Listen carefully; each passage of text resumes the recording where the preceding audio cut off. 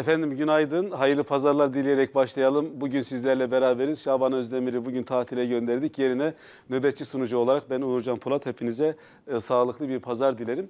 İki değerli uzman konuğum var. Çocuk ergen uzmanları ve mühim bir konuyu başı, e, ele alacağız. Ama evveline tabii bir 23 Nisan kutlaması da konuklarım da yapacaklar. Ben de yapmış olayım.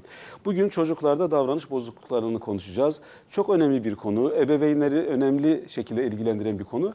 Eğitimcileri de ilgilendiriyor tabii. Çocuklarda davranış bozuklukları eğer düzeltilmezse, uzmana gidilmezse ne olur? Hayata ne gibi getirileri olur? Daha sonra nelerle karşılaşırız? Bunun eğitimde maliyeti, iş hayatında maliyeti, aile hayatında maliyeti, sosyal yaşamda maliyeti belki bütün bunlara da e, konuklarımın söylediklerinden işaretler çıkacak.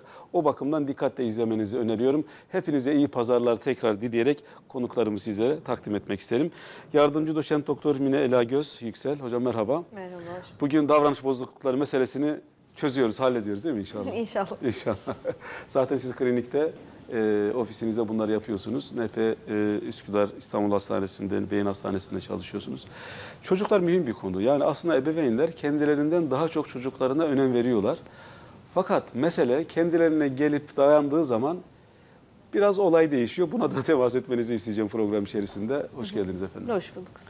Sevgili seyirciler diğer konuğum benim kadim arkadaşım değil mi? Yıllardır başka ekranlarda ve burada program yaptım değerli e, çocuk e, uzmanım. Aynur e, Sayın merhaba. E, Merhaba. Tekrar Fener yolunda değil mi? E, e, çalışmalara devam ediyoruz. Çocuklar, anneler, ebeveynler, tutumlar, yanlış tutumlar filan. Çocukla ilgilenmek çok önemli bir şey. E, benim kızım da biliyorsunuz Ayşenur size işte öğrencilik zamanlarında geliyordu ve Evet. meslek olarak Aynur Sayın gibi olacağım diyordu. Yani e, psikolog olacağım diyordu. E, büyüdü. 92'li biliyorsun. Şimdi Amasya Üniversitesi'nde e, öğretim görevlisi olarak e, kaldığı yerden hayata de- de- devam ediyor. Yani çocuklar erken büyüyorlar diye bir mesaj verelim. Ama doğru büyütmek gerekir. Efendim e, telefonlarınızı alamayacağız ama mesajlarınızı yönetmenimin ekranda size gösterdiği şekilde lütfen e, oralara gönderin. E, cevaplayacağız tümünü. Cevaplayamadıklarımız olursa onları da e, konuklarım size danışma hattından bilgi verecekler. Başlayalım. Biraz ne olduğundan başlayalım. Acaba neye davranış bozuklukları diyoruz? Ana başlığımız, ana kacemiz bu. Çocuklarda davranış bozukluğu deyince biz ne anlayacağız? Mesela biraz bir çocuk böyle öfkeliyse, e, kızıyorsa, anneyi babayı dinlemiyorsa filan bazen de hemen bir etiket yapıştırıyoruz. Bu doğru mu? Doğru olmadığını bize iyi bir tarif yaparak e, açıklamış da olabilirsiniz. Yani ne diyoruz davranış bozukluğu? E, bilim açısından, tıp açısından. Ee, davranış bozukluklarına davranış bozukluklarında sorun teşkil eden davranışlar tekrarlayıcı davranışlar. Yani bir sefere mahsus çocuğun olumsuz bir davranışı değil ama olumsuz davranışın tekrarlaması, çocuğun o anda duygu ve dürtülerini kontrol edememesi ee, ve öfkeyle seyreden bozukluklardır. Ee, yaşına göre değişir çocuğun karşımıza çıkan davranış problemi. Ee, her yaşta görülebiliyor. Ergenlik döneminde gördüğümüz davranış problemleri başka olabiliyor. 4 yaşında gördüğümüz davranış problemleri başka olabiliyor. Ama burada e, ortak nokta genelde çocuğun e, öfkesini kontrol edememesi, e, duygu ve dürtülerini kontrol edememesi şeklindedir. Evet yani dürtülerini ve öfkelerini kontrol edememesi meselesi. O kontrol öğrenilebiliyor galiba. İlerleyen zamanda onu konuşacağız değil mi? Yani çocukta bunlar varsa nasıl kontrol edilebilir? Size neden getirilmeli? Bir psikoloğa niye götürülmeli? Geldiğinde neler yapıyorsunuz? Onun bir şiddeti var mı? Ya da şiddeti varsa önemli mi? Eğer öyleyse bunları nasıl tespit ediyorsunuz? Bunların bir testi mi var? Muayenede mi, anemnez alırken mi? Bütün bunları duymak ve öğrenmek isteriz hocam bugün. Değil mi? Bir pazar gününü madem geçiriyoruz, güzel şeyleri de öğrenelim. Aynur hocam, genelde çocuklarda davranış bozukluğuna yol açan sebepleri konuşacağız ama ben biraz annelerden bahsetmenizi istiyorum. Hani biraz tutum da burada önemli mi? Yani mesela babayla çatışmasını çocuğa yansıtıyorsa, sosyal hayatla ilgili doyumsuzluklarını, tamamlanmamışlıklarını, eksikliklerini çocuğa yansıtıyorsa ve çocuktan diyelim ki 10 gramlık bir şey beklenecekken 1000 gram bir şey bekliyorsa yani biraz tutumlar üzerinde bir şeyler söylemek ister misiniz baştan? Tabii.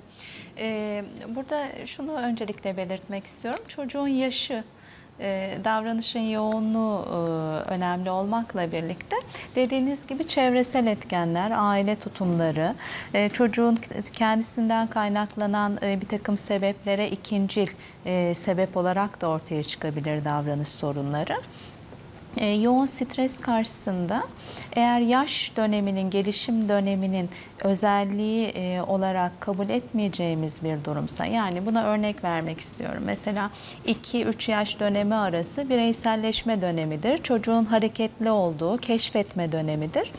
E, işte defalarca inip çıkar e, sandalyeye, koltuğa, aynı davranışı sürekli yapar. E, hırçın bir dönemdir, istediği olsun ister. Çünkü kendisinin farkına vardığı bir dönemdir. E, buradaki hırçınlık, tutturmalar doğal gelişim dönemi sayılırken sonraki dönemlerde bu davranışın devam etmesi bir davranış sorunudur. Onun için e, hangi dönemde hangi davranış normal bu önemli olmakla birlikte evet ailede yaşam koşulları, e, ailenin stresi, anne baba arasındaki problemler, kardeş etkeni, kardeşin doğumu, e, çocuğun yaşantısındaki e, bir değişim, nedir okula başlaması, şehir değiştirmeleri, okulunun değişmesi, e, a- boşanma, e, anne ya da babadan birinin kaybı, ailede bir hastalık öyküsü, hikayesi ortaya çıkması, ailede e, sosyoekonomik problemler yaşanması e, veya çocuğun kendisinden kaynaklanan problemlere ikincil dediğimiz örneğin okulda okul başarısızlığına sebep olacak bir dikkat eksikliğinin olması, bir konuşma e, bozukluğunun var olması. Ee, bunun dışında uyumla ilgili, e, sosyallikle ilgili sıkıntılar yaşaması gibi e, kendisiyle ilgili nedenlerden kaynaklanan zorlanmalar neticesinde de olabilir. Ama aile ve çevrenin getirdiği sebeplerden dolayı da ortaya çıkabilir. E, bu davranış sorunları nelerdir? Bir duygusal bozukluklar olarak ele alabiliriz korkular, işte kaygılar, e, bağımlılıklar, e, kekemelik, e, tikler gibi. Bir de davranışlarla ilgili işte agresif davranışların olması, saldırganlığının olması, hareketliliğinin olması, inatçılık davranışı, yalan davranışı, çalma gibi. Bir de alışkanlık bozuklukları olarak var. O nedenle e, hangi dönemde e, hangi davranışı gösteriyor dediğim gibi bu önemli. Yoğunluğu önemli. E, hangi koşullarda, e, nerede e, bu davranışı gösterdiği önemli. E, özellikle teşhis koyarken e, bunlar ele alınıyor. Evet, çok güzel. Hocam şunu anlıyorum sizin girişteki açıklamalarınızdan ve Aynur Hanım'ın e, katkılarından. Çocukla ilgili bir meseleye karar verirken aslında çok ayrıntı var. Değil mi? Pek çok sebep var. Biz genelde he- hemen bir sebebi üzerine ya- yapıştırıyoruz. Biraz buna yol açan nedenleri, yani davranış bozukluğuna neler yol açar? Biraz daha sizin de dilinizden onu dinleyebilir miyiz? Mesela ne olursa çocukta davranış bozukluğu beklenir. İşte ailede alkol varsa, işte madde varsa, hocamın söylediği gibi çocukta bir terk edilme duygusu varsa, bir arkadaşım var yetişkin yaşta, e, halen e, anne baba e, da böyle bir durum olduğu için çocukluğunda e, kendisinin de arkadaşları tarafından, dostları tarafından, sevdikleri tarafından, e, zaten eşi tarafından hep bir terk edilme e, korkusu, kaygısı yaşıyormuş. Bunun o yaştan bugüne gelme ihtimali, imkanı var mı? Oralarda çözülmüş olsaydı bugün daha hafif olur muydu? Bu yükü taşımak zorunda kalmaz mıydı? Biraz ona ilişkin de cümleler duymak isterim. Haklısınız. Davranış bozuklukları bir anda olmaz. Yani çocuk çok e, tırnak içinde normalken bir anda 7 yaşında bir davranış bozukluğu çok beklediğimiz bir şey değil. Genelde küçük yaşlarda hafif hafif başlar. Gittikçe zamanla yavaş yavaş artar ve e, bu şekilde devam eder. E, fakat tabii aileler bize genelde e, işler artık çok problem haline geldiğinde başvurabiliyorlar. Hatta kimi zaman aileler, aileler çok iyi tolere ederken çocuğu okul şikayet ettiği için gelebiliyorlar. O yüzden bazen okuldan geri bildirim almak da bizim için çok önemli oluyor. Ee, her çocuğun huyu farklıdır. Her çocuk birbirinden e, kişilik olarak apayrıdır. Bazı çocuklar o nedenle daha inatçı olmaya, daha işte söz dinlememeye, e, biraz daha fevri olmaya meyillidir daha doğuştan genetik olarak. Ee, bu çocuklar için tabii davranış bozukluğuna daha yatkın olduklarını söyleyebiliriz. Ama huy tek başına... Bunu bilseler hocam, mesela bunu geldiler, tespit ettiniz, testleri yaptınız ve çocuğun bir yatkınlığı olduğu ortaya çıktı. Aileyle görüşmeniz halinde, bunu bildirmeniz halinde e, Bu önemli bir şey değil mi? Yani biz yani bu çocuğun genetiğinde, yatkınlığında böyle bir şey var. Bir yol kazası yaşamayalım. Bu çocukta bunlar ortaya çıkmasın diye düşünürlerse ve sizin yönergelerinize, önerilerinize dikkat ederlerse bu çıkmayabilir değil mi hocam?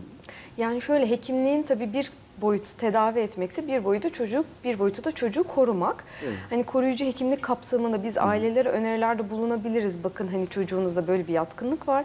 İleride diyelim ki bir davranış bozukluğu ile karşımıza çıkmaması için ya da bir dikkat eksikliği, hiperaktivite bozukluğu ile karşımıza çıkmaması için neler yapabilirsiniz? Ailelere hani e, bir psiko eğitim verebiliyoruz çocuğu korumak adına. Ya bu da kıymetli. Yani Bu da çok kıymetli. Çünkü şöyle bir söz var galiba. Hekimler her zaman tedavi etmeyebilirler ama her zaman teselli ederler. ya o da tedaviye uyum açısından önemli bir şey. Yani o manevi destek değil mi hocam? Yani ailenin, ebeveynin olayın içerisine giriyor olması, sabırların devam ediyor olması, Tabii, tabii. bilimi takip ediyor olmaları açısından önemli galiba. Yani bunu e, önemsiz diyemeyiz. Evet önemli ve ailelere hani bir takım davranışsal önerilerde bulunmak, onların hani yanlış tutumlarını düzeltmek, hani çocuğun ileride başka sorunlarından e, koruyucu olması açısından da kıymetli oluyor. Evet. Ee, öneriler kısmında belki yine buna ilaveler söylesin. Hocam aklımda şey geldi. Ee, şemsiye anneler ve öfkeli babalar diye bir cümle kurmuş olsak. Davranış bozukluklarının ortaya çıkmasında bu cümlenin bir değeri var mıdır? Mesela böyle bir cümle kursak. Yani şemsiye annelerin e, davranış bozukluğunu çıkmasında ya da öfkeli her şeye kızıyor. Tuz az oldu diye kızıyor, kapıyı vaktinde açmadın diye kızıyor, aşağıda bekliyorum erken girme yetişmen diye kızıyor. Çocuk başarısız olsa anneye kızıyor. Yani ben size ne yapmadım diyor. Bir eliniz balda, bir eliniz yağda diyor. Saçımı süpürge ettim diyor mesela. Anneye de çocuğa da kızıyor. Yani her şey öfkeli bir şey. Yani patladı patlayacak diyeceğiniz bir baba. Ve her türlü hatasını, kusurunu, tembelliğini, çalışmamasını, mızmızlığını, şusunu, busunu da e, saklayan ve otorite de bir bakıma da olmaya çalışan bir de şemsiye anne. Nasıl bir çocuk çıkar? Şemsiye anne e, korumacı tutumu. Evet. Öfkeli baba da e, öfke modelliği, e, sorun çözmede aslında sorunları karşılamada öfke modelliğini temsil ediyor. Saldırgan davranışı da te- e, teşvik ediyor. Biliyoruz ki e, genetik nedenler dışında aile öncelikle şekillendiriyor çocuğu. Hep söylediğimiz, vurguladığımız klasik model alarak büyür çocuklar diyoruz. E, bu çok standart bir cümle halinde ama e, başından itibaren e, anne babanın e, çocuktan beklentilerini ne göz attığımız zaman aslında performans kaygısı yaşayan çocukların ailelerinde başarıya çok önem verildiği, genellikle çok öğüt verildiği, mükemmeliyetçi yaklaşım mı olan anne babalar, e, performans bekleyen anne babalar veya işte e, saldırgan davranışları olan çocuklarda dediğim gibi bireysel nedenler yoksa ailede böyle bir modellik e, ya da çocuğun engellenmesi, eleştirilmesi, duygularının bastırılması neticesinde bir reaksiyon ortaya çıkarması. Yani etki tepki olarak düşünürsek çocuğun bir tepkisi varsa, gelişim döneminde normalden sapan bir davranışı varsa çocuk bir şeye tepki gösteriyor demektir. Yani bir şeyden etkileniyor demektir. Şemsiye anneler, ahtapot anneler hani çok Böyle kullandığımız kavramlar kullanılıyor ve dikkatinizi çekiyor o- oraya. Evet.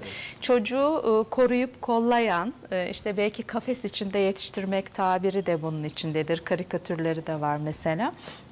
E, dış etkenlere karşı, yaşamın zorluklarına karşı çocuğu çok fazlaca koruyan, beceri geliştirmesine fırsat vermeyen, sürekli yönlendiren, müdahale eden, e, çocuğun sorunlarını çözerek dediğim gibi davranış repertuarını geliştirmesine imkan vermeyen anneler. Ee, çok kay- e, ve kaygılı anneler aslında. Yani çocuğu için çok fazla kaygılanan anne ne yapıyor? Onu koruyor. ya da öğüt veriyor ya da tehlikelere karşı çok fazla uyarıyor. O zaman bireysel olarak çocuk kendini bu anlamda geliştiremiyor. Yani ay aman düşersin. Ee, geç yürüyen çocukların bazılarının anneleri böyle. Yani e, fiziksel anlamda bir problem yoksa motor gelişimiyle ilgili bir problem yoksa çocuğun e, geç yürüyorsa örneğin 17 aylık yürüyorsa e, çocuk kendine güvenmiyor çok fazla e, davranış kazanamıyor denemeler yapamıyor. O nedenle kendisini tam olarak hazır hissettiği zaman yürüyor ya da birden koşmaya geçiyor örneğin. Emeklemekten koşmaya geçen çocuklar var. Neden? Duygusal olarak hazır hissetmiyorlar aslında. Motor gelişim olarak hazır oldukları halde. Bu bir örnek mesela. E, bu nedenle gelişimin e, diğer aşamaları da aksamış oluyor böyle olduğu zaman. Çünkü çocuk birey olarak kabul edilmediği için en baştan itibaren ebeveynle bir bütün. Çünkü anne e, kendisiyle bir bütün olarak düşünüyor çocuğu. Çocuk da böyle algılıyor. E, ayrılma kaygısı yaşayan çocuklar mesela anaokulu ve ilkokula başlayan e, anneden farklı bir varlık olduğunu kabul edemiyor. Tek başına ilk defa kurallı bir ortamda kalması Doğru. gerekiyor. Bugüne kadar kalmamış. Hep anne onun uydusu olmuş, hep yönlendirmiş, hep destek Evet, vermiş. hep Birdenbire kaygı yaşamış oluyor. Ee, öfke modelliğinde de böyle. Çocuk e, baba sorunlarını bu şekilde çözme eğilimine giriyorsa çocuk da bu davranışı modelliyor. Arkadaşıyla bir oyuncağı paylaşamadığı zaman şiddet kullanıyor. Kardeşinden bir şey istediği zaman şiddet kullanıyor. Annesi babası onu anlamadığı zaman tekmelemeye vurmaya başlayabiliyor. Oyun oynarken oyuncaklarını kırabiliyor. Aslında duygusal boşalım bu çocuk açısından tabii. Evet, teşekkür ederim. Hocam bir soru var. Ona cevaplayarak diğer sorumuza geçelim. Ee, iyi yanlar. Benim 3,5 yaşında bir oğlum var. Konuşamıyor. Kreşe ve özel eğitime gidiyor. Doktorlar tam bir teşhis koyamadılar. Otizm belirtileri var diyorlar. Biz çok endişeliyiz. Yaşı ilerlemeden nasıl tedavi edebiliriz? Hani bugünkü konumuzla bağlantısı belki yeterince yok ama seyircimize e, rahatlatıcı birkaç şey söylersek iyi olur. Ardından diğer soruma geçeceğim. E, otizm ya da zeka geriliği gibi hani nörogelişimsel rahatsızlıkların e, tedavisinde şu an e, ana etmenler eğitim, özel eğitim ve duyu bütünleme terapisi. Bunun yanında çocuk hazır olduğu zaman konuşma terapisi e, çok öncelikli. O yüzden hani seyircimize tedavi yani takiplerinin devam ettirmelerini, eğitimlerini aksatmamalarını önerebilirim. Evet. Hocam e, çocuklarda yaşa uygun olmayan davranışları biraz açmanızı isteyeceğim. Yani ebeveynler, öğretmenler işte ya da bakım verenler çocuklara. Çünkü onların da bunları bilmesi gerekiyor. Yani anne çalışıyor, baba çalışıyor. E, bir bakım veren var değil mi? Ona bırakıp gidiyorlar. Ama aile, ebeveyn ne kadar doğru davransa bile eğer bakım veren kişi bunlardan bir haberse, bu söylediklerinizi yeterince bilmiyor ya da önemsemiyorsa e, daha çok zaman geçirdiği kişi o olduğu için bir bakıma o da etkilenebilir. E, çocuklarda yaşa uymayan davranışlar neler olur? Mesela ne olursa dikkati çekmeli seyircilerimizin. E, veya ben bir doktora götürmeliyim, ben bunu işte Mine Hoca'ya bir danışalım, Aynur Hoca'ya bir soralım diyebilecekleri durumlar neler ol- olabilir? Bize bir oradan bahseder misiniz? Zaten davranış yaşa uygunsa bizim için normaldir. Ne zaman rahatsızlık diyoruz? Artık o davranış çocuğun yaşına uygun değilse ya da hani yoğunluğu çok fazlaysa ya da yani bir e, sosyal ortamda artık rahatsızlık e, boyutuna ulaştıysa e, demin de bahsettiğim gibi genelde okullar bu konuda uyarıcı oluyor. İşte okulda kurala uymama, öğretmeni dinlememe, e, geç kalma gibi şikayetlerle e, okul yönetimi ya da bazen öğretmenler aileyi uyarıp çocuğu hani bir hekime yönlendirebiliyor. Aile de bunu fark edebilir. Artık aileye e, çok fazla tutturuyorsa mesela çocuk, artık çok rahatsız edici boyutlara ulaşıyorsa, toplum içinde e, onu kontrol etmekte zorlanıyorsa Biraz aile. dediğim dedik çocukları değil mi? ya? Özellikle O mesela- dediğim dediğim dediğim dedik çocuklar ya da ağlayarak e, ya da işte Tutturarak. vurarak, tükürerek hani dediğini yaptırmaya çalışan çocuklar. E, daha öfkeli, öfkesini kontrol etmekte zorlanan, yaşıtlarına oyun oynarken vuran, elindekini alan çocuklar. E, tabii bu bahsettiklerim genelde hani 4 yaş ve sonrası için geçerli. 2 yaşında tabii ki bir çocuk ya da 3 yaşında bir çocuk daha henüz paylaşmayı bilmez. Ee, arkadaşın elinden oyuncak alabilir. Ama bahsettiğimiz daha büyük çocuklarda hala e, beraber oynamakta zorlanmak, arkadaşına vurmak, ailesine vurarak e, ya da işte ağlayarak dediğini yaptırmaya alışmış bir çocuk ya da işte e, evde eşya kıran, e, kardeşine fiziksel zarar veren, işte eve e, evdeki kurallara uymayan, eve vaktinden geç gelen, okula gitmek istemeyen çocuklar da ki bu davranışlar hani bir e, artık yardım almalarını Gerektiren bir davranışlardır. Aynen hocam. Mesela çocuk 5-6 yaşlarında, 4 yaşlarına geldi. Hocamın söylediği yaşlara diyelim geldi. Bir problem yok. Fakat sonra haneye, yuvaya bir bebek geliyor. Ve çocukta yani birinci çocukta bir değişimler başlıyor. Bu değişimleri genellikle aileler doğru yönetemiyorlar. Bazen sen abisin, ablasın modunu çok abartıyorlar. Evet, evet. Yani çocuk o kadar ki o yaşta neredeyse ebeveyn kadar yük almış oluyor üzerine. Sen abisini yapmamalısın, sen ablasını yapmamalısın. Ya da işte o o, sen ona çocuk. sahip çıkacaksın, sen onu işte okula götüreceksin, sen onu işte diğer arkadaşlarından koruyacaksın vesaire. Bir de çocuğun duyguları. Bu doğru yönetilemediğinde çocukta bir davranış bozukluğuna giden ya da onu çağrıştıran, ona benzeyen başka durumlar olur mu? Buraya nasıl bakıyorsunuz? Kesinlikle haklısınız. Ee, en tehlikeli cümle sen abisin, sen ablasın, sen büyüksün, yapmamalısın. Evet. İdare etmelisin. Ee, e, bebek fikrinin e, başlangıcından itibaren bazı aileler kendileri çocuk için kaygılandığı için acaba işte kardeş gelince çocuğumda bir takım değişimler olur mu, problemler ortaya çıkar mı? Çok fazla savunmaya geçebiliyorlar, çok fazla açıklama yapabiliyorlar bu hazırlık dönemiyle ilgili. Aslında özel bir şey yapmamak gerekiyor. Doğal sürecinde ilerlemesi gerekiyor. Çocuğun tepkilerine göre, reaksiyonlarına göre, sorularına göre yönlendirme yapmak, tedbir almak gerekiyor. Bir problem varsa ama Tabii hazırlık süreciyle ilgili genel bir bilgi verilmesi gerekir. Ama e, çok uzun söylemler, bu olayı çok kaygılanacak bir olaymış gibi bir çocuk böyle algılamıyor en başta. Ailenin kaygısı yansıyor. Biz olayları nasıl algılıyorsak, ona nasıl hissettiriyorsak öyle algılıyorlar. Mesela son zamanlarda tabii artık e, çocuklar için yardım alan aileler çok fazla olmakla birlikte ailenin bu konuda kendi kaygısı varsa acaba çocuğun psikoterapi almaktan etkilenir mi, bir uzman yardıma böyle bir yere gelmekten etkilenir mi diye kaygılanıyorsa çocuk gerçekten kaygılanıyor örneğin. Ama bunu aile kabul ediyorsa, çevreyi açıklamakta da e, tereddüt etmiyorsa e, bu tavrını çocuk alıyor zaten. Tamamen e, biz neyi nasıl yaşıyorsak, çocuğa yaşatıyorsak çocuk öyle algılıyor olayları. Ki algı en önemli şey bizim tepkilerimizde. Çocuklar için de öyle bir döngümüz var. Biz olayı nasıl algılıyorsak ona uygun bir duygu yaşayıp ona uygun bir reaksiyon veriyoruz. Duygu, düşün, düşünce, duygu, davranış üçgeninde.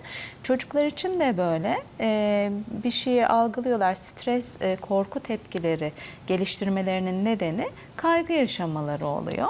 O nedenle çok uzun anlatımlar, savunmaya geçme dediğiniz söylemleri yapmamak gerekiyor. Ama çocuğun soruları vardır. Tatmin edici güzel cevaplar verilir çok ayrıntıya girmeden. Ama bundan sonra seni de seveceğim, onu da seveceğim gibi savunmacı cümlelere gerek yok. Evet, o Sadece o kendi zaten. özel olacağını duymak istiyor.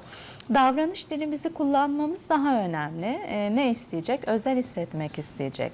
Ama sen ilk göz ağrımsın, daha değerlisin gibi değil. Ee, işte özel zaman ayırarak, e, övgüyü ihmal etmeyerek, e, kardeş doğduktan sonra ona görevler vererek, e, önemli olduğunu hissettirerek, övgü gibi sürece dahil edip aslında uzaklaştırmadan ama ona da özel hissettirerek. Çok fazla öğüt verirsek aman dikkat et en baştan. Evet yani çocuklar Aslında- vaaz dinlemezler diyelim değil mi? Yani onların Evet. böyle aşırı öğütlü davranmayalım. Kardeşine zarar vermemesiyle ilgili çok öğüt verildiğinde zarar verecektir. Mine Hocam, e, çocuklarda yıkıcı davranış bozuklukları diye bir şeyden bahsedebilir miyiz? Başlığımız bu. Yani ne demek bu? Çocukları nasıl yıkıcı davranabilirler?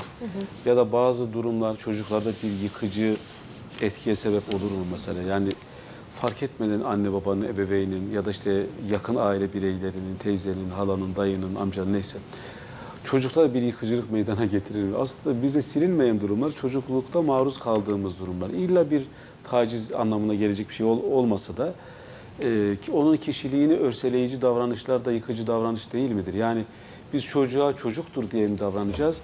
Yoksa evet bedeni çocuktur ama ruhu benimden ruhu benden bir fark yok diyerek mi davranacağız? Biraz bu olayı açık, geniş ve anlatabilir misiniz? Yıkıcı davranış bozukluklarını kabaca ikiye ayırıyoruz. Birincisi karşı olma karşıt gelme bozukluğu, ikincisi davranım bozukluğu. Ee, karşı olma karşıt gelme bozukluğunda çocuklar işte adı da üstünde genel olarak karşı gelirler. Hani otoriteye, kurallara, e, biraz kendi dediklerini yapmak isterler. Biraz daha inatçı olurlar, e, tuttururlar. İşte öfkelerini kontrol etmekte zorlanabilirler. Fakat davranım bozukluğu e, biraz daha bunun ağır bir tablosudur. E, orada hırsızlık yapma, karşı tarafa kasten zarar verme, özellikle kasten vurma, canını acıtma, hayvanlara zarar verme, e, yangın çıkarma gibi e, ek davranış problemleri söz konusudur. Biraz daha ileri yaşlarda eğer karşı olma karşıt gelme bozukluğu tedavi edilmezse e, daha sık gördüğümüz bir durum. E, bizim için her iki hastalık da bir davranış bozukluğudur. E, sizin de demin belirttiğiniz gibi bizim için sadece anne babanın tutumu değil, çocuğa bakım veren her kişinin tutumu çok önemli. Bu bir bakıcı olabilir ya da daha çok toplumda gördüğümüz anneanne, babaanne e, gibi kişiler olabilir. Çocuğa bakım veren kişilerin tutarlı davranmaları bizim için en koruyucu etken. E, sağlıklı disiplin yolları kullanmaları ve kendi aralarında da tutarlı olmalarını çok önemsiyoruz. Yani anne babanın çocuklara davranışında pozitif davranış, pozitif iletişim, e, pozitif yaptırım falan hani ne bileyim böyle cümleler kullanabilir miyiz? Çünkü Nevzat Aran hocamız yıllardır bize pozitif e, değil mi davranış, pozitif e, psikoloji konusunu gündeme getiriyor. Geçen bir mailinde gördüm Avrupa'da bazı üniversitelerde artık pozitif psikoloji okutulmaya başlanmış. Yani Üsküdar Üniversitesi'nin öğrencileri bunu kuruluşundan beri bir ders olarak alıyorlar. Yani aslında bir öncelikleri, bir önde oluşları da e, söz konusu. Bir de az evvel Aynur Hanım'ın anlattıklarını hoca bize hep şöyle anlatırdı Nevzat Hoca. Dur, düşün, yap. Yani değil mi? Biraz öfkeye, e, işte e, durma Hem dürtü belki kontrolü, dürtü kontrolü Hem açısından sorun ilginç çözme olabilir. yöntemi olarak. Yani bu e, yapma, etme, e, gitme şeklinde olumsuz kelimeler ailelerde fark ediyorlar ki çocuğu tam tersine tahrik de edip daha Evet, fazla evet. yapmalarına sebep olabiliyor. Ya da yine olumsuz e, kelimelerden en sık gördüğümüz çocuğu böyle yaftalayıcı, sen yapamazsın, yapamıyorsun zaten, sakarsın ya da işte hakaretvari Ama kelimeler. ablan yapıyor sen yapamıyorsun. Şımarıksın, Evet, yaramazsın gibi. Hani e, ya da daha ağır hakaretvari kelimeler. Hani çocukta e, bu sorunların e, daha da aslında kalıcı olmasına, sür- sürmesine neden oluyor. E, hatta çocuğu e, hatta çocuğa davranışlar annenin karnında başlıyor. Yani annenin gebeyken ruhsal anlamda e, pozitif olması, daha sonra çocuk doğduktan sonra bebeklik döneminde pozitif olması çok önemli. Biz biliyoruz ki mesela annenin lohusalıkta depresyon yaşaması davranış bozuklukları bozuklukları açısından bir risk faktörü. Yani annenin sağlığı aslında çocuğun sağlığı Ruh demektir sağlığı değil çok mi önemli, Hocam? evet. Çok müthiş bir yer. Hocam biraz e, o dur düşüne bağlantı kurarak bir soru sormak istiyorum. Ee, çocuklardaki bu hırçın, sinirli davranışlar, inatçı davranışlar nasıl aşılabilir? Yani onlara pozitif olarak nasıl yaklaşılabilir? Timaş'ta sizin işte Nevzat Hoca ile beraber bir ekiple hazırladığınız e, pozitif davranışın işte basamakları, adımları değil mi? Adıyla da bir de kitabınız Evet. var. Orada e, NP İstanbul ekibi e, önemli şeyler e, söylüyor. O kitaba da bir referans verebiliriz. Oraya da bak bakılabilir. Evet. E, hem ona bir işaret hem de Nevzat Hoca'nın o dur düşün yap meselesi. İşte Mine Hocam'ın bıraktığı yerden devam edersek neler söylenebilir? Evet, pozitif psikoloji kitabı çoklu zeka uygulamaları adı altında bir çalışma yapmıştık. Ee, belirlediğimiz bir takım öğeler işte kendini tanıma, başkalarını tanıma, empati, sorun çözme, karar verme, uzlaşmacılık, işte sebatkarlık, sabırlı olma e, gibi e, bir takım başlıklar ve bunlarla ilgili bir takım uygulamalara dikkat çekmekte amaç. E, pozitif psikoloji evet son yıllarda çok daha e, fazla gündeme geliyor. İyi olma hali olarak daha çok tanımlanıyor ama pek çok öğeyi duygusal zeka kavramından çok daha geniş bir kavram e, olarak ele alınıyor. Duygusal zekayı daha çok duy- duyduk yıllarca. Pozitif psikolojiyi yeni yeni belki biraz duymaya başlıyoruz. E, bu e, genel olarak aslında kendimizi öncelikle tanımaktan geçiyor, bilinçlenmekten geçiyor. Farkındalık en önemli aşama hepimiz için. Bizim çalışmalarımızın amacı da o aslında. Şu an yaptığımız da o. E, Önce farkındalık kazanıyoruz ki ondan sonra izleyeceğimiz yolla ilgili bir hedefimiz oluşuyor. Önce kendimizle ilgili, durumumuzla ilgili. Dur düşün yap da trafik ışığı gibi düşünürsek görselleştiriyoruz. Kırmızı, e, sarı ve yeşil. Nasıl karşıdan karşıya geçersek geçerken önce durmamız, sonra düşünmemiz, sonra harekete geçmemiz gerekiyorsa bir davranışı yapmadan önce de e, önce durup doğru davranışı düşünüp değerlendirip ondan sonra yapmalıyız ya da konuşurken bunu yapmalıyız. Aslında bu her koşulda her zaman hepimizin kullanması gereken bir parola diyelim. Yaşamımızın parolası. Ee, daha çok e, biz çocuk ergen bölümünde tabii dürtü kontrolünde çok sık kullanıyoruz. Çünkü dürtü kontrol problemi olan çocuklar, gençler hemen eyleme geçiyorlar. Akıllarına geleni hemen yap eylemine geçiyorlar. Biz orada durup düşünmesi gerektiğini bir davranış çalışması olarak programlatıp örneklerle onlara öğretiyoruz. Bunu karar vermek için de kullanabiliriz diyoruz. İşte sorun çözmek için de. Hepimizin bunu yapması gerekiyor. Acele karar verdiğimiz zaman sonra pişmanlık duyabiliyoruz. Geri adım atmamız zor oluyor. Ama önceden e, seçenekleri değerlendirip doğru yanıta gidersek, doğru karara gidersek o zaman daha sağlıklı bir e, kazanım elde etmiş oluyoruz. Aslında davranış çalışmalarını bu temada yapıyoruz, programlıyoruz. Hocam e, artık hani programın çoğunu bitirdik değil mi? E, belli bir süremiz kaldı. Yönetmenim bize süreyi de belki biraz da bil- bildirecek. Ne kadar süremiz kaldığını öyle daha kolay toparlayabiliriz. Çocuklarda davranım bozuklukları, davranış bozuklukları dediğimiz hocam temas etmediğimiz ne var? Hani şunu da muhakkak anlatayım dediğiniz notlarınız vardır muhakkak. Onları almak isterim. E, hani eksik kalmaması bakımından. Bir de nasıl teşhiste bulunuyorsunuz? Diyelim ki bizi dinlediler. Şu anda e, peki 8 dakikamız var. E, bizi dinlediler ve dediler ki ben bunu işte götürmem lazım evladım. Mine Hoca görsün dediler ve ofisimize geldiler. Nepe İstanbul'a geldiler. Mesela o teşhisi nasıl yapıyoruz? Bize biraz o aşamalardan bahseder misiniz? Yani ebeveyn çocuğunu getirdiğinde neyle karşılaşacak? Nasıl bir muamele, nasıl bir ilgi, test mi olacak, ailede buna girecek mi? Çocuğa teşhisi, tanıyı nasıl koyuyorsunuz? Sonra bir tedavi planlamasını nasıl yapıyorsunuz? Tedavi planlamasının içerisinde kimler yer alıyor? Çocuklarında mesela davranış bozukluklarında diyelim ki e, psikiyatrideki teknolojiden yararlanıyor musunuz? E, daha evvel yetişkin konuklarım anlatmıştı mesela EEG gerekiyor mu ya da başka neler var? Bize biraz o süreci anlatabilir misiniz? Neler oluyor? E, Bizim için öncelik tabii çocuk birebir muayenesidir, e, gözlemlenmesidir. Biz anne babadan bilgi alıyoruz. Öncelikle nedir hani e, şikayetleri, çocuğun öncesindeki durumu neydi tam olarak? Önce çocuğu iyi bir tanıyoruz aileden. Daha sonradan çocuğu yalnız birebir muayene ediyoruz, gözlemliyoruz. Ona bir takım sorularımız oluyor, onu daha iyi tanıyoruz. E, tanıyı koymanın yanında başka eşlik eden bir tanı var mı? Ona da bakıyoruz. Mesela dikkat eksikliği, hiperaktivite bozukluğu, sıklıkla davranış bozukluğunun yanında yer alır ve e, eğer onu tedavi etmezsek tedavimizi de olumsuz etkiler. O yüzden ek tanıları var mı işte bir kaygı bozukluğu vesaire gibi. Bunun yanında anne ile babanın Yani tutumlarını ka- mutlaka... Özür dilerim karışmış durumlar olabilir ya da değil mi? Evet. Yani çocukta başka bir şey de olabilir. Mesela Başka bir şey de depresyon olabilir. varken de böyle davranıyor Evet, olabilir. Başka bir şey de olabilir. Beraber de seyredebilir. Evet. Yani her iki tanı beraber de seyredebilir. Birbirlerini etkileyen iki, e, iki tanı şeklinde de seyrediyor olabilirler. Anne ile babayı daha yakından tanıyoruz. Onların kişilik özelliklerini, tutumlarını. Tabii bunları nasıl tanıyoruz? Hem konuşuyoruz hem e, ölçekler doldurmalarını istiyoruz. Gerekiyorsa çocuğa testler uygulayabiliyoruz. Kişilik testleri. Ee, eğer gerekirse görüntüleme yöntemleri dediğiniz gibi uygulayabiliyoruz. Ee, okuldan bilgi almak bizim için oldukça önemli. Ee, mutlaka okulla hem tanı aşamasında hem tedavi aşamasında işbirliği halinde oluyoruz. Bunu e, bir e, psikologla üzerinden mi yapıyorsunuz? Nasıl oluyor hocam? Mesela siz e, birlikte çalışıyorsunuz ekip olarak. Hani hekim mi var, çocuk psikiyatrisi var, çocuk psikoloğu var. Galiba testleri değil mi psikologlar yapıyorlar.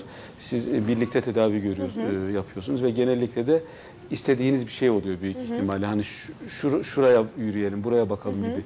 Böyle bir işbirliği geliştiriyorsunuz psikologla? Nasıl oluyor hocam? Evet kesinlikle ekip halinde hareket ediyoruz. Bu ekibin yani ayaklarının biri eksik kalırsa bizim için tedavide eksik kalıyor. Okul bizim için çok önemli. Okulla psikiyatristlerle, psikologlarla haberleşebiliyoruz.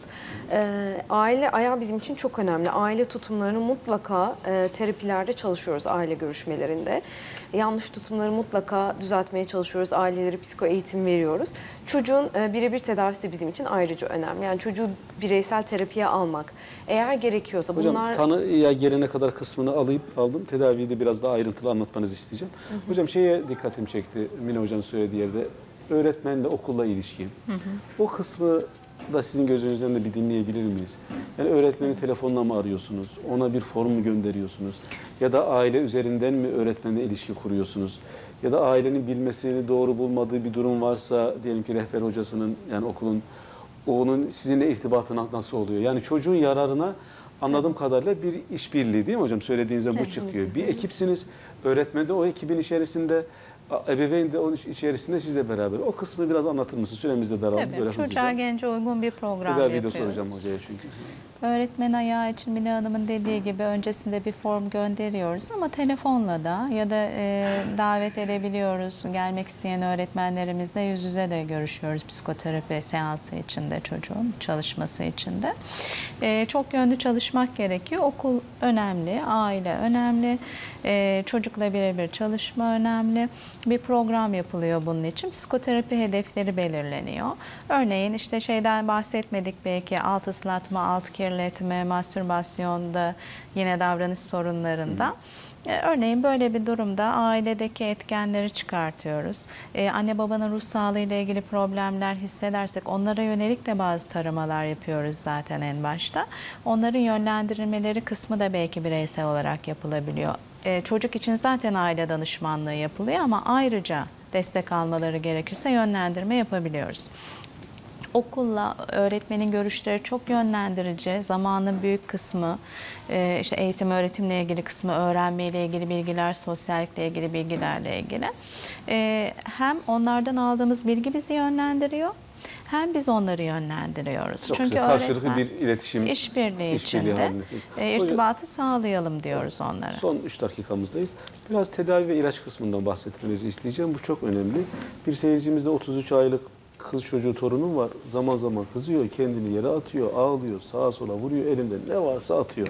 Acaba neden demiş? Aslında biraz bahsettik. E, Bir, bir cümlelik bir cevap ve sonra te- e, işin ilaç kısmı ile ilgili bir kısım. Çünkü o çokça merak ediliyor. Ee, evet daha önce de bahsettik yani 33 ayda bunlar bir çocuğun yapabileceği şeyler istediğini elde etmek için ama e, bakan ebeveynin ya da anneanne babaannenin dikkat etmesi gereken burada nokta şu. Bu e, davranışların kalıcı olmaması için işte ağladığında istediğini yerine getirmemek. Yani bu alışkanlıkların, bu tırnak içinde kötü alışkanlıkların kalıcı hale gelmemesi için dikkatli olmaları gerekiyor. Ee, tedavi kısmında bazen e, çocuğun terapisi, e, çocuk çocuğa bireysel terapi yeterli olurken bazen ilaç tedavisi de gündeme gelebiliyor. Özellikle dediğim gibi eşlik eden bir mesela dikkat eksikliği, hiperaktivite bozukluğu varsa ona yönelik bir ilaç tedavisi gerekebiliyor. Altta yatan bir depresyonu varsa çocuk bu nedenle bir davranış problemi sergiliyorsa Orası çözülmeli ki bu da Mutlaka önce giderilebilsin. depresyonu tedavi etmemiz gerekiyor. Ee, altta yatan nedenlerin tedavisine e, yani mutlaka önemsememiz gerekiyor. Ee, dediğim gibi bizim için aile çalışmaları da çok önemli. Ee, ailede bir e, marital problem mi var, anne babada bir öfke kontrol problemi mi var, yoksa sadece e, nasıl disipline edeceklerini mi bilmiyorlar. E, bunları da ayırt edip sebebe yönelik hareket etmek bizim için çok önemli. Çünkü her davranış bozukluğunun altında farklı sebepler yatıyor. Evet. Farklı çocuklar, farklı özellikler, farklı Hepsi, bir, huylar. hepsi biricik değil mi? Evet ve hepsi farklı- farklı tedavilerde. Farklı sebepler. Ama şunu söyleyebilir miyiz? Artık bitirin diyor yönetmenim. Bitireceğiz efendim. Ee, bu tedavisi olan bir durum. Kaygılanılmayacak bir durum. Ama işbirliğinde hazır olmanızın da muhakkak gerektiren bir durum diyebilir miyiz Evet, kesinlikle. Değil mi? Bunu Ve söyleyebiliriz. sürdürülmesi gerekli alınan yardımın. Yani biraz sabır herhalde e, Tabii. gerekiyor. E, kendileri değişirse bu alanda çocukların da kısmen değişeceğini de söyleyebilir miyiz Mine Hocam? Evet, kesinlikle. Siz de katılır mısınız Aygül Hocam? Evet hem e, değişimle ilgili hem de süreci yönetecek kişiler onlar. o Evet, nedenle dolayısıyla çok aktif olarak, değerliler. aktif olarak yer almalarının da gerekiyor. Ben şunu anladım, bu konu önemli. Ailenin e, içerisinde yer alması önemli. Pek çok etken var. Bu etkenleri destekleyen başka türlü psikiyatrik sorunlar da olabilir. Kendileri etiketlemesinler. Bu işi uzmanlarına size getirsinler. Ayrıntılı bir inceleme söz konusu olsun ve çocuğun sonraki e, ergenlik hayatında, gençlik hayatında, yetişkinlik hayatında maliyetleri olmasın diye Evet. anlıyorum. Ve tedavisinin olduğunda, yüz güldüren sonuçları alındığında anlatımlarınızdan anlıyorum. Yanlış anlamadım herhalde. Evet, çünkü bu durum hem çocuğun akademik hayatını hem sosyal hayatını Etkiliyor. olumsuz etkileyen Çok teşekkür ederim Mine Hocam geldiğiniz Ben için. teşekkür Aynen ederim. Hocam çok teşekkür ederim. Ben teşekkür ederim. Sevgili seyirciler e, Şaban Özdemir'e alıştınız ama bugün izinliydi. Ben ele geçirdim. 23 Nisan'ı da kutlayalım değil mi? E, beraber onu unutmayalım. Girişte onu da söylemiştik. E, ona da kolaylıklar dilerim. Didem Ezgi bana yardım etti. Konuklarım Mine Ela Göz Yüksel ve psikolog Aynur Sayım. Çok teşekkür ederim geldiğiniz için. Hepinize iyi pazarlar diliyoruz. Haftaya cumartesi ve pazar görüşmek dileğiyle. İyi günler efendim.